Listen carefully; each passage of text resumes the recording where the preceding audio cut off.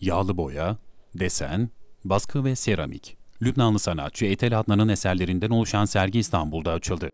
Bence serginin çeşitliliğiyle Sergide 1925 doğumlu olan dünyaca ünlü sanatçının 1960-2020 yılları arasında yaptığı birbirinden farklı pek çok eserleri yer alıyor. Farklı coğrafyalarda yaşayarak çok kültürlü bir ortamda yetişen sanatçının eserlerinde bu zengin kimliği görmek mümkün. Eserlerinde güçlü bir tasvir ile yalın bir üslubu benimseyen Etel Adnan, izleyiciye derin bir keşif sunarak ziyaretçileri eşsiz bir yolculuğa çıkarıyor.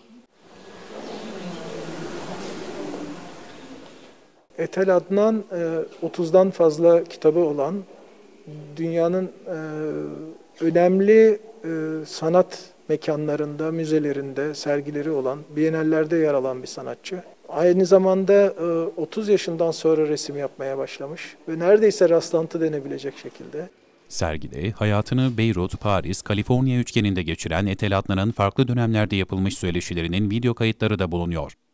Gerçekten e, burayı deneyimleyebilecek olan izleyiciler e, birinci elden Etel'in dünyasının içine girmek ve yalınlığındaki derin anlamı kavramak şansına sahip olacaklar. İmkansız Eve Dönüş sergisi 8 Ağustos tarihine kadar Pera Müzesi'nde koronavirüs önlemleri kapsamında ziyaret edilebilecek.